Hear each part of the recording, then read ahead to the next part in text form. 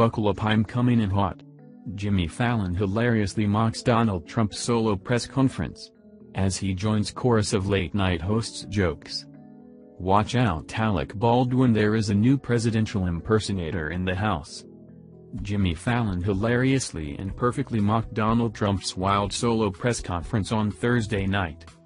While the 42-year-old Tonight Show host had just a few hours between the reality star turned POTUS Thursday morning address, he nailed it bigly. The comedian opened his show dressed as the president complete with a voluminous hairpiece and orange tan. Channeling the apprentice star, Jimmy said, Welcome.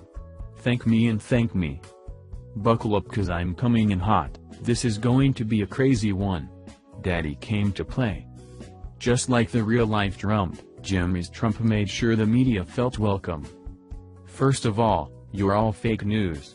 I hate you very much. And thank you for being here.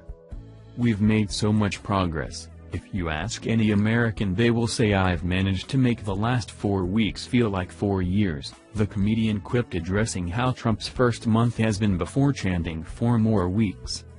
Drawing on the president's real words when answering a question about cabinet missteps, Jimmy said, it's not my problem, my problem.